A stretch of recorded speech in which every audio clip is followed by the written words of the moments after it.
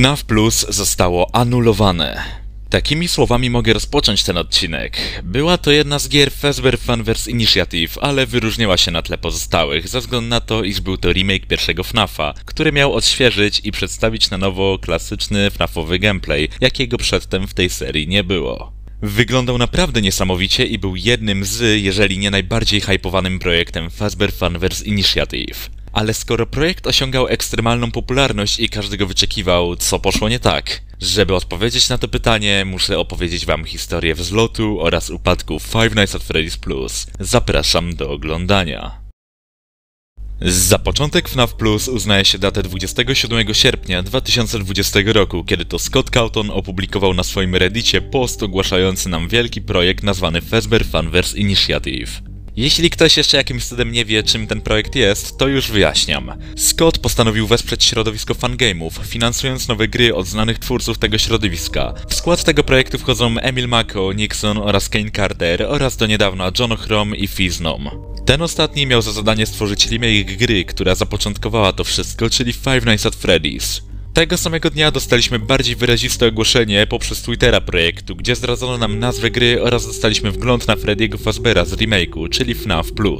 Masa ludzi była nahypowana samym ogłoszeniem remake'u pierwszej części FNAF, ale także tym, że jego twórcą był niezwykle utalentowany deweloper, czyli Fiznom. Stworzył on wcześniej takie gry jak A Shadow Over Freddy's czy też Porkshop Adventure, który był teaserem do większej gry, jaką miał być Porkshop Horror Show. Tak naprawdę, Fiznom stał się twórcą FNAF Plus ze względu innej gry, czyli Another FNAF Fun Game Open Source. Był to darmowy remake FNAFa 2, który był wykonany niesamowicie. Gdy Scott się o tym dowiedział, natychmiastowo zdjął grę, jednak był zaintrygowany fangame'em Fiznoma do tego stopnia, że zatrudnił go do pracy przy oficjalnym remake'u pierwszej części FNAF.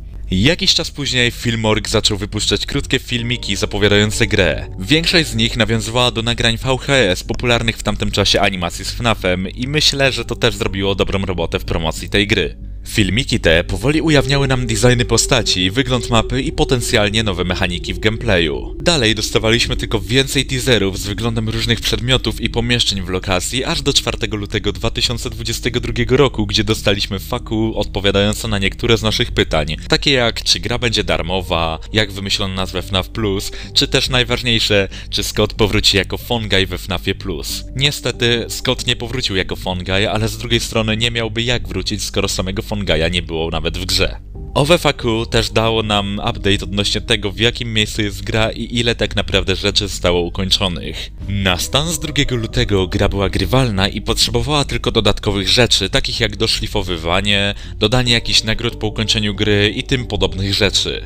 Kilka miesięcy później, bo już w czerwcu tego samego roku, dostaliśmy Development Showcase, gdzie zobaczyliśmy tak naprawdę jak wygląda gra. Ludziom, w tym mi, spodobała się atmosfera panująca w biurze, wygląd biura czy też kamer. W międzyczasie przygotowywane były finalne graficzne usprawnienia, a niedługo potem gra dostała swoją stronę na Steam wraz z krótkim zwiastunem.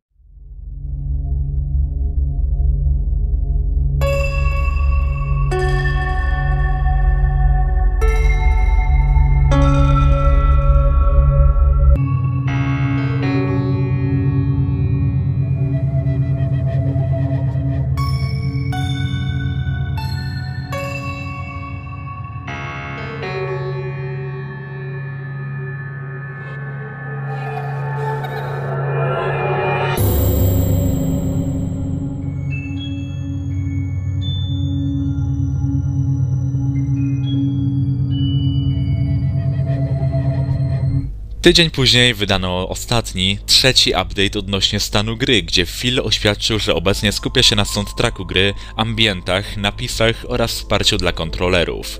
Przez te wszystkie informacje mogłoby się wydawać, że FNAF Plus tak naprawdę jest za rogiem i jest naprawdę bliski wydania. W końcu gra była rzekomo na finalnych etapach pracy. Jednak coś poszło nie tak. Po opublikowaniu strony dla FNAF Plus na Steamie o grze zrobiło się naprawdę cicho. Nie dostawaliśmy przez okrągły rok update'u odnośnie stanu gry. Prowadziło to do tego, że niektórzy ludzie porobili własne wersje FNAF Plus, które nadal latają po GameJolcie za darmo. Nawet gdy zaczęły wychodzić podróbki FNAF Plusa, Phil czy też Scott nie wydali oficjalnego announcementu odnośnie tego. Czym była spowodowana ta nieaktywność? Cóż, ciężko stwierdzić. Jednak bardzo łatwo połączyć kropki. Widzicie, Fiznom od tamtego czasu bardzo, bardzo, ale to bardzo dużo streamował po wiele godzin. Nie było to tajemnicą, że Phil nie był zadowolony z tego, w jakim kierunku poszedł FNAF, jednak to sprawiło, że nieliczni zaczynali domyślać się o co chodzi. Jak zapewne wiecie na Twitterze, a nie, przepraszam, na Xie, wybuchła ostatnio pewna drama z udziałem Fiznoma. Nie zamierzam wchodzić w jej szczegóły, więc zostawię w opisie link do filmu Fagona odnośnie tej dramy, ale także umieszczę tam film Fiznoma, gdzie przedstawia swój pogląd na tamte wydarzenia. Jednak jeśli znacie cały kontekst, to wiecie, że drama ta spowodowała, iż Fiznom został usunięty z Fazbear Fanverse Initiative wraz ze stroną FNAF Plus na Steamie. Obecnie nie mamy żadnych wiadomości o tym, co dalej z FNAF Plusem i wątpię, że cokolwiek dostaniemy, patrząc na to, jak długo była robiona ta gra i na siłę jej development był przeciągany, by tylko wydoić pieniądze ze streamów, które Phil robił. Niestety, myślę, że FNAF Plus został anulowany na dobre, pomimo tego, że gra rzekomo była grywalna i zostało tak naprawdę mało rzeczy do zrobienia. Ale idąc tą logiką, Scott mógłby zatrudnić kogoś, kto by po prostu dokończył tą grę. Samo to, że strona została usunięta ze Steam Steama wiele nam mówi. Niestety bardzo możliwe, że we FNAF Plusie do dokończenia było więcej niż Phil nam powiedział wprost. W końcu, jaki sens miałoby anulowanie gry, gdy tak naprawdę była na ostatniej prostej?